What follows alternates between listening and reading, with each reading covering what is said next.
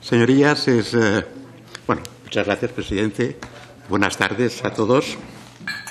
Y señorías, es un honor eh, para mí poder comparecer hoy ante ustedes en esta comisión, pues para someter a su consideración mi idoneidad e independencia como candidato a la vicepresidenta, vicepresidencia de la Comisión Nacional de los Mercados y la Competencia. Y lo digo además no solo por cumplir algo debido, sino también porque estoy convencido de que la transparencia y la rendición de cuentas son complementos necesarios de la independencia que tienen los organismos supervisores y reguladores en nuestro país. Dicho esto, permítanme que, resuma mi trayectoria profesional y su relevancia pues, para el puesto para el que he sido propuesto.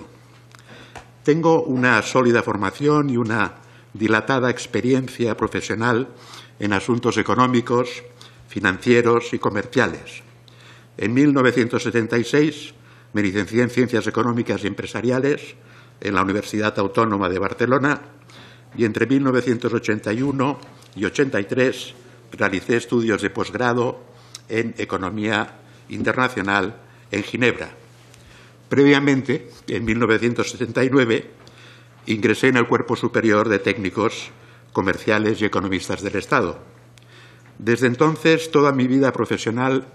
ha estado vinculada al Ministerio de Economía y Hacienda o a la Secretaría de Estado de Comercio cuando ha estado adscrita a otro departamento. Fundamentalmente, además, en puestos relacionados con el estudio de la economía o la política económica, tanto en el ámbito doméstico como internacional. He participado también en varios proyectos de investigación eh, para Naciones Unidas, la Comisión Europea y el Banco Mundial, y soy autor y coautor de diversas publicaciones sobre temas de economía aplicada y de numerosas contribuciones a congresos, seminarios y reuniones. También tengo una amplia experiencia profesional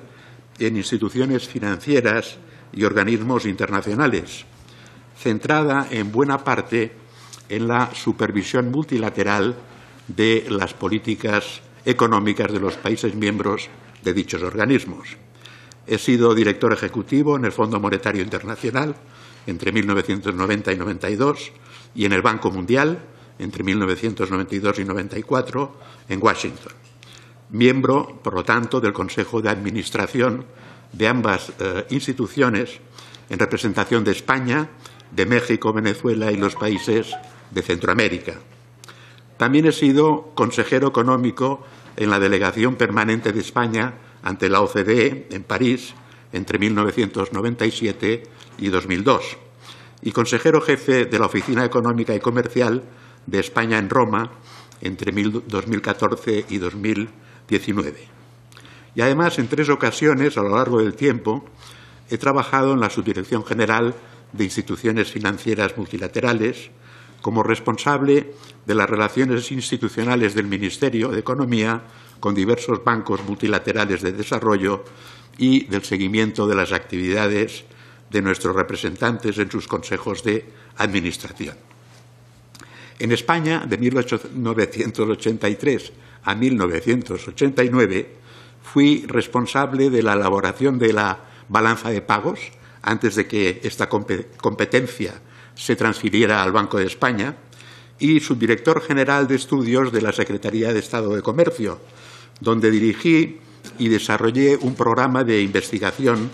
orientado fundamentalmente al estudio de las experiencias de liberalización comercial en España. Tras mi paso por el Fondo Monetario y el Banco Mundial, entre 1994 y 1996 desempeñé el cargo de director general de planificación en la Secretaría de Estado de Hacienda,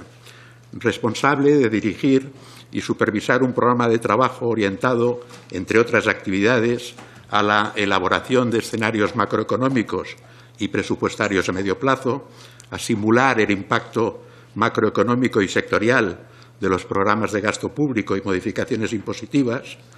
el estudio y la evaluación de políticas sectoriales y de la política regional en España. Y además, responsable también de la programación y administración de los recursos de los fondos comunitarios, que con un volumen de recursos financieros gestionados equivalente eh, a unos 5.000 millones de euros anuales para el periodo 1994-1999, eh, exigía una estrecha coordinación de su programación y aplicación con los organismos gestores en la Administración Central, en las comunidades autónomas y ayuntamientos y con los servicios competentes de la Comisión Europea.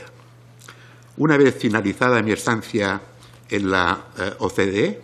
y tras un breve periodo ocupándome de nuevo de las relaciones con el Banco Mundial, entre 2004 y 2011 ocupé la Dirección General y la Secretaría General de Política Económica en el Ministerio de Economía y Hacienda. Este departamento es la unidad de referencia en materia de análisis y proyecciones macroeconómicas y análisis económico de la regulación. Como secretario general y director general de política económica,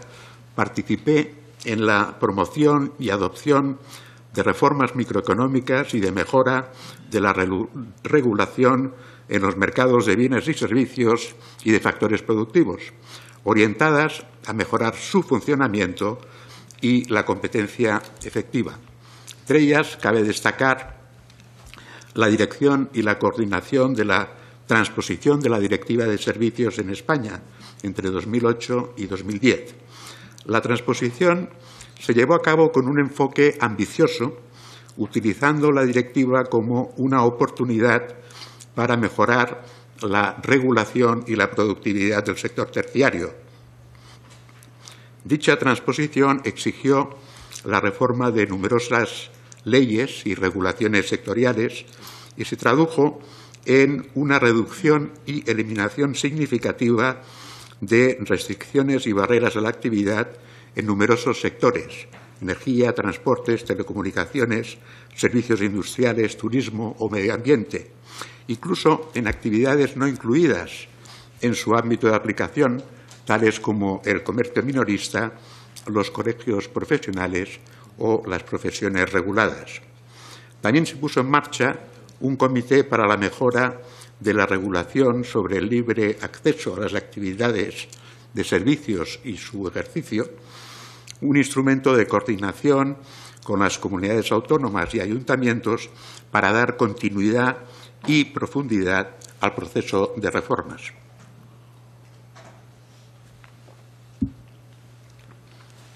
Por otro lado, la elaboración y coordinación de la denominada Ley de Economía Sostenible, que fue aprobada en 2011, que, entre otras reformas, abordaba la modernización del marco regulatorio de la economía española, la simplificación de procedimientos para la creación de nuevas empresas, mejoras de eh, la regulación de las industrias de red o un modelo más orientado al mercado en materia de eh, I más I y de formación eh, profesional. En el ámbito específico de la competencia, tras la aprobación del nuevo diseño institucional eh, introducido con la Ley 15 de 2007, contribuí desde la Secretaría General a poner efectivamente en marcha la Comisión Nacional de la Competencia, reforzando sus atribuciones y recursos y definiendo las competencias residuales en este ámbito que permanecieron en el Ministerio de Economía y Hacienda, ubicadas en una nueva subdirección general de mejora de la regulación y competencia. También eh, he sido miembro del Pleno del Consejo de Defensa de la Competencia, eh, un órgano de coordinación entre la Administración Central y las comunidades autónomas en materia de legislación sobre competencia. Siendo la Secretaría General, como ya les he comentado, la unidad responsable en el Ministerio en materia de análisis económico de la regulación y al mismo tiempo desempeñar la función de Secretaría Técnica de la Comisión Delegada del Gobierno para Asuntos Económicos, tenía la responsabilidad de proporcionar la valoración económica de las propuestas de otros eh, departamentos sectoriales antes de someterlas a Consejo de Ministros. Y tuve además la oportunidad de contribuir a otras reformas microeconómicas orientadas a mejorar la competencia y el funcionamiento de los mercados en sectores como el energético, los transportes, las telecomunicaciones, el postal, el mercado de CO2, las pensiones o el mercado de trabajo. Por otro lado, en el ámbito internacional, mi experiencia en el Fondo Monetario eh, Internacional y en el Banco Mundial, en la OCDE, tanto en mi etapa de consejero eh, económico y en mi calidad de representante de España en los comités de política económica de la Unión Europea o de la OCDE durante casi ocho años, me dieron también la oportunidad de participar en el análisis, discusión y formulación de recomendaciones de reformas microeconómicas en actividades como las que son objeto de supervisión y control por la Comisión Nacional de los Mercados y de la Competencia, tanto en países desarrollados como en desarrollo. Finalmente, mi participación a lo largo de los, de los años en diversos consejos de administración de empresas o entes eh, públicos, entre otros en la Empresa Nacional del Gas, en Renfe, Correos y Telégrafos o el Instituto de Ahorro y Diversificación de la Energía, en representación eh, del Ministerio de Economía, me ha dado la oportunidad de conocer de primera mano la problemática eh, de actividades relevantes en la labor de la CNMC. En todo caso, conviene subrayar que mi última participación en alguno de estos consejos fue hace ya más de ocho años. En definitiva, señorías, ha sido una vida profesional dedicada al servicio público y la defensa del interés general, centrada fundamentalmente en el análisis económico y la promoción de reformas estructurales orientadas a mejorar las condiciones de competencia y el buen funcionamiento de los mercados, que me ha permitido eh, combinar el análisis económico y jurídico y dirigir equipos de trabajo multidisciplinarios teniendo en cuenta las mejores prácticas internacionales y académicas a la hora de tomar decisiones. Para concluir, permítanme que les diga que contemplo este nombramiento con gran ilusión y que me comprometo, si merezco la confianza de esta comisión, a ejercer las responsabilidades del cargo con profesionalidad, independencia, imparcialidad, honestidad y dedicación total a promover y potenciar los fines y objetivos de la Comisión Nacional de los Mercados y la Competencia. Muchas gracias por su atención y quedo a su disposición para responder a sus preguntas o cualquier aclaración que me hagan.